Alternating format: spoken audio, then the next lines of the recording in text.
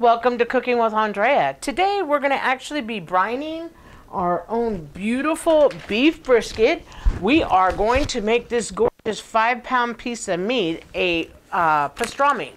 So we're going to get started.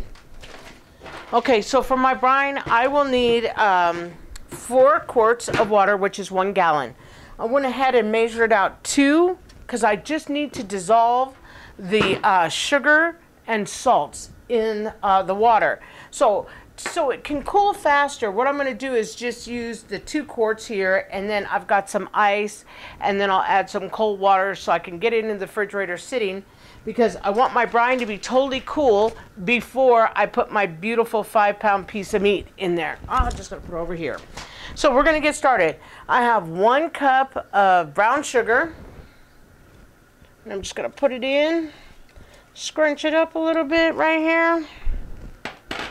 I'm going to give it a, just a little mix with my whisk here.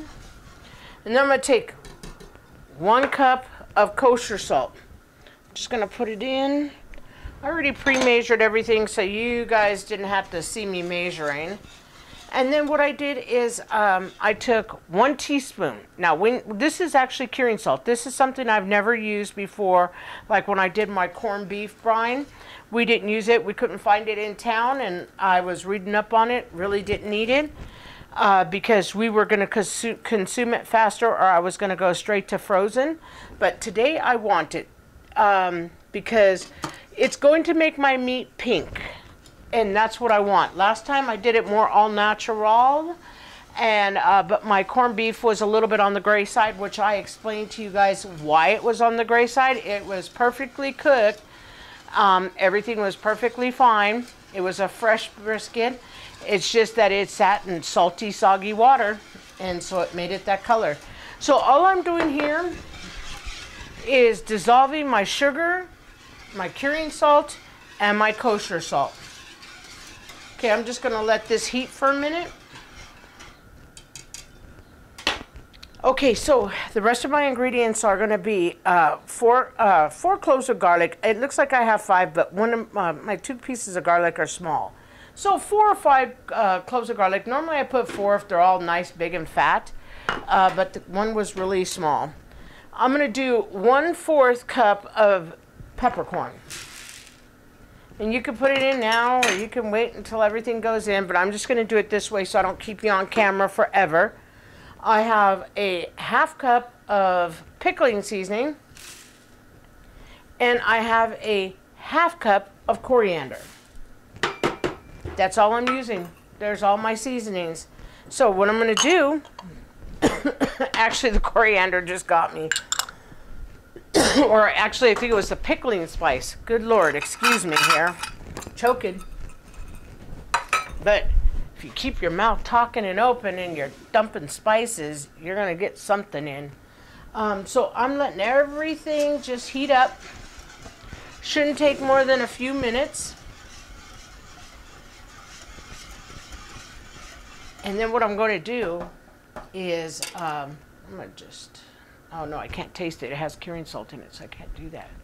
Because um, they say you need to be careful for that. Um, so I'm not going to do that. I'm bad. I'm always sticking my fingers in, tasting what I'm making. Excuse me. That seasoning got me, which is good. You know me, season, season, season. Love it. So basically what I'm going to do is just bring this to a nice little simmer, which is great. Everything is dissolved. Okay, so what we're gonna do so I'm gonna pour it in. And then what we're gonna do is just let it cool.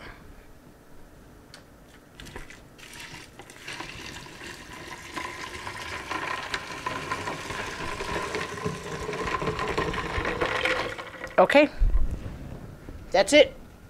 Now what I'm gonna do is I'm going to go ahead, let all the ice melt. Um, as soon as it melts, I'm going to put it up to four quarts. We're going to start the cooling process in the fridge, and then we'll be back and uh, we'll put the uh, beef brisket in. Okay, welcome back. um, brine is nice and cool, I uh, went ahead and started it before we came back on. I'm just going to go ahead and drop that beautiful beef brisket in. Oh, beautiful. I'm going to take this to the sink because it's all full of uh, liquid.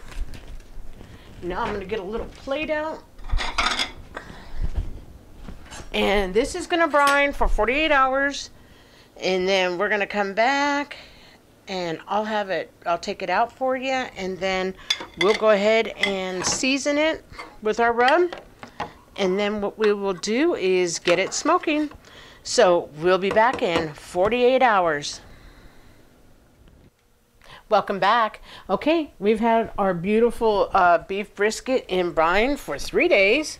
We are to take it out in just a minute. But before we take it out, just wanted you to see it sitting there. I'm to go ahead and make what I'm to rub it with. First, I'm to start with one, uh, two tablespoons of black pepper. I'm to do uh, one tablespoon of pickling spice. I'm going to do one tablespoon of ground mustard. And then I'm going to do two tablespoons of coriander, ground coriander. And what I do is I grind my coriander uh, when it's rub time and my um, pickling seasoning seasoning uh, because I like the flavors. I think the flavors are great. And by going ahead and uh, brining in this same network of spices I did, then rinsing my meat and putting ground. Oh, tastes delicious. In my, uh, it has flavor, flavor, but not over flavored. Uh, if you don't like pepper like we do, maybe just use one tablespoon if you're making it. But we like pepper, and I wanted to have a good pe peppered flavor because when I go to slice sandwiches, I want a little crust of pepper and seasoning with that fantastic smoked meat and it'll come together great. I've done it before. It's not my first time. Um, it comes out great. I have also one tablespoon of smoked paprika. You don't have to use smoked. I like the smoke even though I'm smoking it. Um, I can't get enough smoke. And then I'm going to be uh, not smoking with uh, hickory today. I'm doing a little bit more mild, but um, it's going to be delicious.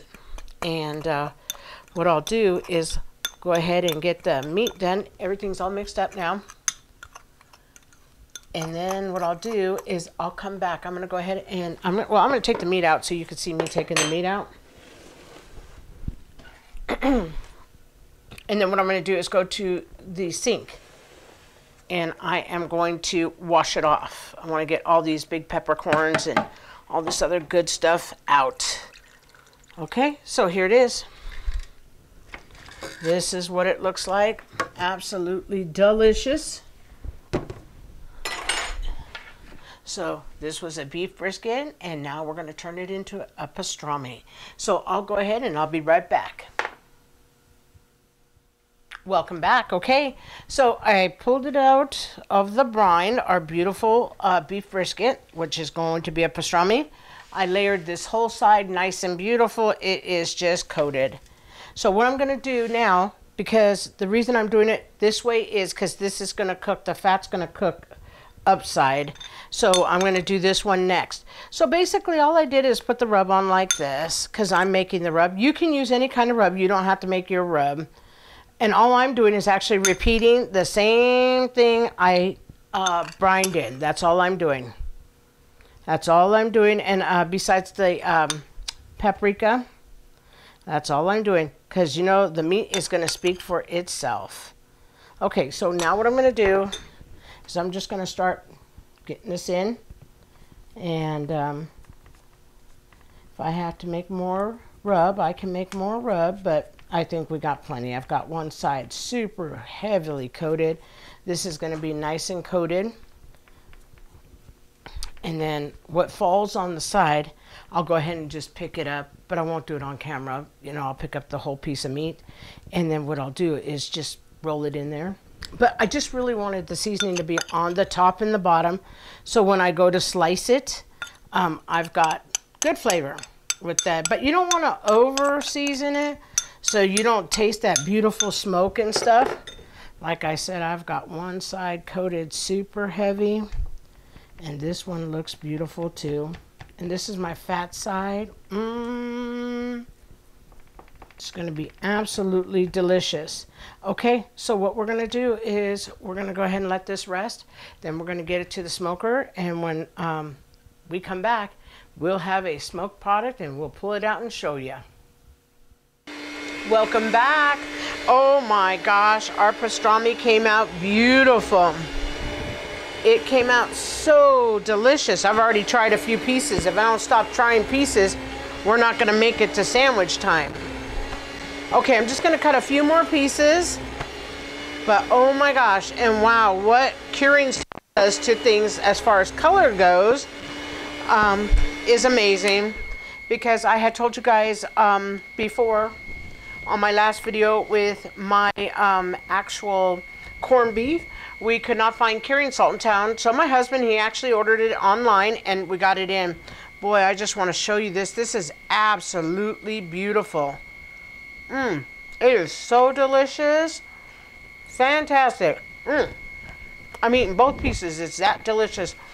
Gorgeous. I'm going to come back in a few minutes and I'm going to make one sandwich. And we're just going to have it just a little bit heated up, the uh, pastrami. But it is absolutely fantastic. We'll be back. Mm -mm -mm. Welcome back. Oh my gosh, look at this beautiful smoke. Oh my goodness, absolutely gorgeous. Okay, we're gonna make our sandwich. I toasted our bun. We got a nice little double crunch bun. And I'm just gonna put some beautiful pastrami. So please, you know, the curing salt made the color. You know, we've done this before, but we've never used the curing salt. Oh my gosh, this curing salt is absolutely just makes the meat pop. But it's really our seasoning too. So, you know, the ground that I said to use instead of even other seasonings, by brining it in the seasoning, grinding those seasonings, and then putting it out to smoke. Oh my gosh, it is absolutely beautiful. You guys will enjoy this. Uh, remember, we started with beef brisket, and this whole venture started with corned beef and then our beautiful pastrami just because we couldn't find one in our city at the point in time I wanted it. So uh, if you like the content, if you would please like, share, and subscribe, I'd be most grateful. And this is all I'm going to put on my beautiful sandwich. I got some cheese here if you'd like, uh, Swiss or provolone, mustard, whatever you would like to put on yours, but we're going all natural. Thank you so much and have a blessed week my beautiful pastrami sandwich.